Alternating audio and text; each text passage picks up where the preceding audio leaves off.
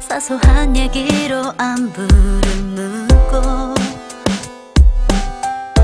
가끔 대화가 끊기는 순간에는 차가운 정적 우릴 얼게 만들어